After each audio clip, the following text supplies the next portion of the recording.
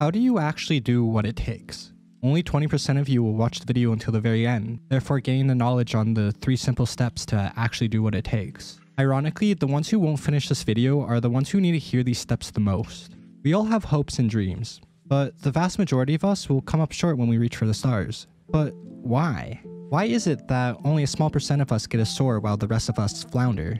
These are the questions I'm going to answer, and by the end of this video, it's very likely that you're going to realize that you don't actually want to do what it takes. But for the small percent of you that will decide to do whatever it takes to succeed, I want to lay out three simple steps that 90% of people overlook that are going to help you reach success. But first, let's establish what does it mean to do what it takes? It's kind of funny trying to answer the question because the answer is kind of in the question. It's literally doing what it takes. But I guess the real question is, what does doing what it takes looks like?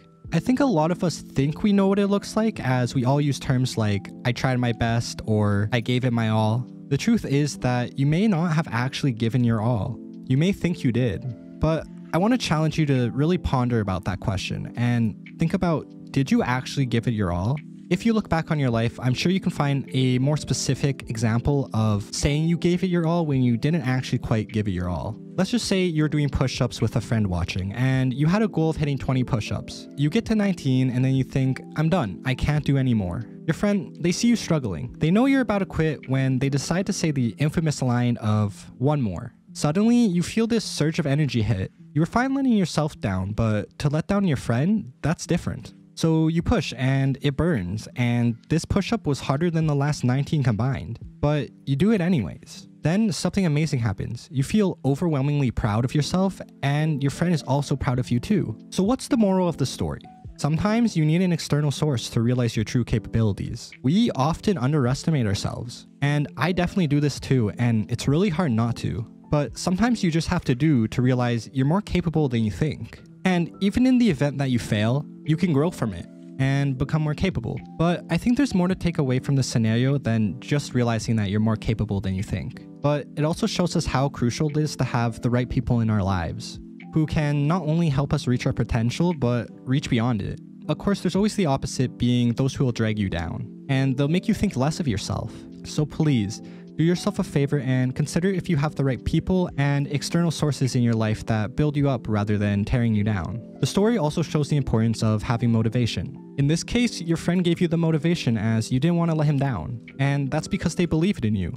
Motivation can be found in anything, positive or negative. For example, you have proving people right, or alternatively, proving people wrong. You need to find motivation to do, and you need to do if you want to succeed. But I'll let you in on a little secret since you made it this far. You can actually do without motivation. And through doing, you can find the motivation to continue to do. So sometimes you just have to do. The last thing I want to touch on revolving around this story is something that I think can be easily overlooked. If you stop doing push-ups at 19 and your goal was 20, then the next time you go to do push-ups, it's likely that your goal is going to be once again to hit 20. But why is this bad, you may ask? It's because the version of you that hit 20 last time is now going to be aiming for 25. Now, realistically, these two are evenly matched in terms of strength, as doing one push-up is not going to make you that much stronger. But what it will do is make you a whole lot stronger mentally as you will not only believe in yourself to hit 20, but to soar beyond that, while the other version of yourself isn't even sure if they can hit 20. And if they do, they'll likely call it quits once they hit 20 because they gave it their all. And this all leads into my next question, which is why is it that only some of us get a soar while others of us flounder? Luckily, we know some of the answer as we literally just talked about it, and that is that some of us are capable of doing what it takes while others of us aren't. But now that you have a rough idea of what it actually means to do what it takes, I think you're ready for the three simple steps, which are going to improve your life greatly if you can just implement them. Throughout these steps, I'm going to be using the example of wanting to become a YouTuber as many people want to be a YouTuber nowadays, and I myself, of course, want to be one too. But feel free to fill it in with any other job or desire that you have, as it's pretty universal. Step 1. Figure out why you want to do this. If I want to become a YouTuber, I'm going to have to beat incredible odds. And throughout my journey, I'm most likely going to have moments where I want to quit. And here is where many people fail. They forget all the reasons as to why they wanted to be a YouTuber in the first place. For me, I wanted to help people. And I felt that the best way I could do that was through making YouTube videos. These videos are basically me making videos for my past self on things I wish I could have heard when I was younger. I also want to be financially free, and I mean, who doesn't, right?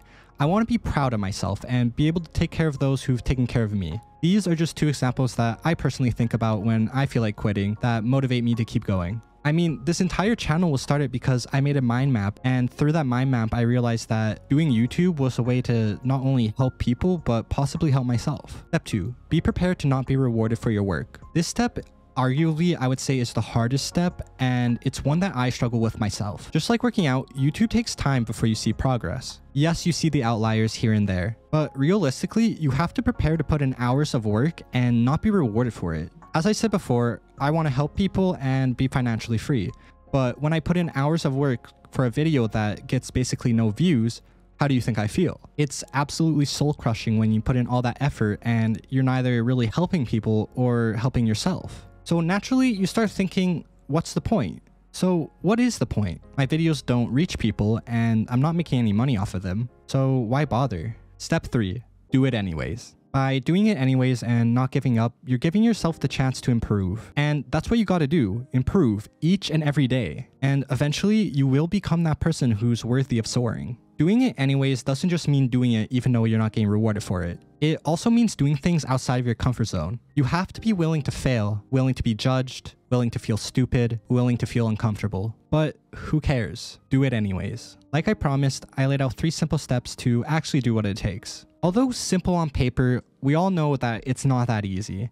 And I never promised it would be easy. It's simple, but it's not easy. You're going to have times where you bargain with yourself to not do what it takes. Only those of you who actually follow these three steps, never having your determination waver, you are the ones who are going to soar. And unfortunately, it's most likely that most of you won't do it. But let it be known that I believe in you, and I'm willing to be that person who says one more. If you enjoyed this video, I think you'll really enjoy my last video on how to be better and the next video I'm working on which is how to feel like a kid again.